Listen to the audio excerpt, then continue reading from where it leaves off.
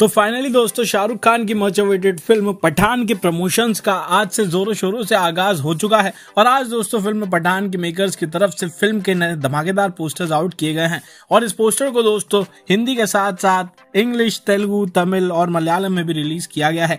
आप सभी को बताते चले दोस्तों की फ़िल्म का यह नया पोस्टर काफ़ी ज़्यादा शानदार है, जिसमें की दोस्तों, हमें शाहरुख खान, दीपिका पादुकोण और जॉन अब्राम नज़र आ रहे हैं। साथ ही दोस्तों, इन तीनों के ही ज़बरदस्त लुक्स हमें देखने को मिल रहे हैं। साथ ही जॉन अब्राम के हाथों में टैटू टैटू भी हमें नज़र आ रहे हैं। वहीं दीपिका पादुकोण और शाहरुख खान अपने हाथ में गन पकड़े हुए नज़र आ रहे हैं। फ़िल्म का ये पोस्टर काफ़ी ज़्यादा धमाकेदार है, जो कि दोस्तों सोशल मीडिया पर जमकर ट्रेंड हो रहा है।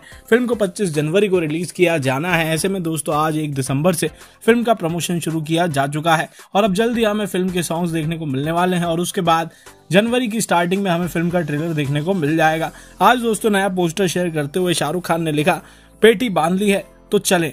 55 days to Pathan. Celebrate Pathan with YRF only at big screen near you on 25th January 2023, releasing in Hindi, Tamil and Telugu. तो दोस्तों फ़िल्म पठान का ये नया पोस्टर आपको कैसा लगा? साथ ही दोस्तों आप भी फ़िल्म पठान को लेकर एक्साइटेड है नहीं हमें कमेंट करके ज़रूर बताएँ।